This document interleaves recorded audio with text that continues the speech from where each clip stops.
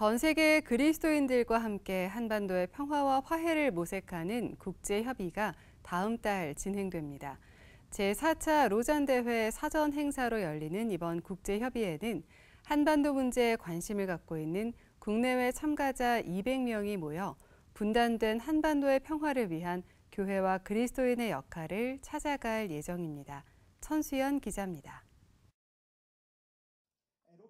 제4차 로잔대회가 다음 달 인천 송도에서 개막하는 가운데 사전대회 성격으로 한반도 문제를 논의하는 자리가 마련됩니다. 한반도 평화와 화해를 위한 컨설테이션이 다음 달 20일과 21일 인천대학교에서 열립니다.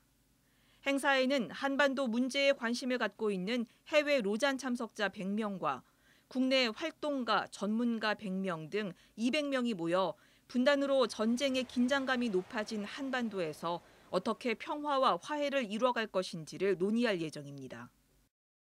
북한은 우리 남한과 화해가 필요한 깨어진 형제라는 관점에서 접근하려고 합니다. 화해와 평화가 하나님이 교회에 내리신 중요한 선교의 사명이라는 거죠. 로잔의 사전대회 성격을 갖고 있지만 대회를 준비한 곳은 로잔 준비위원회가 아닙니다.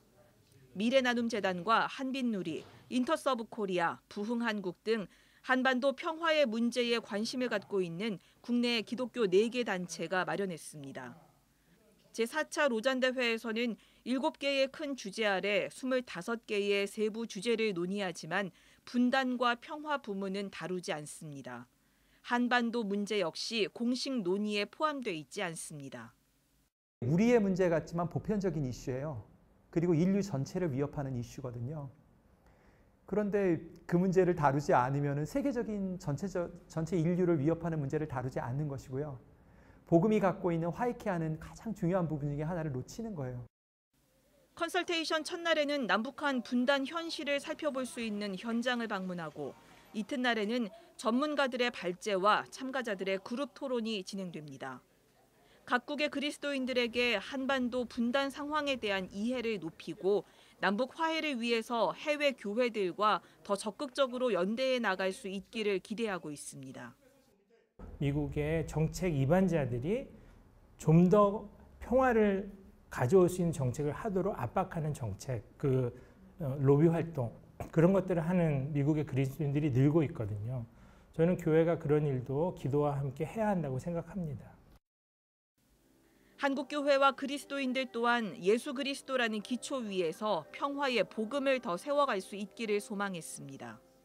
하나님 나라의 복음이 갖고 있는 화해와 평화의 복음에서 한국교회가 자라날 필요가 있어요. 그 이해에 있어서의 복음적 이해가 너무나 작기 때문에 세상 가운데서 사람들에게 소통할 수 있는 복음의 증거를 할 수 없는 거죠.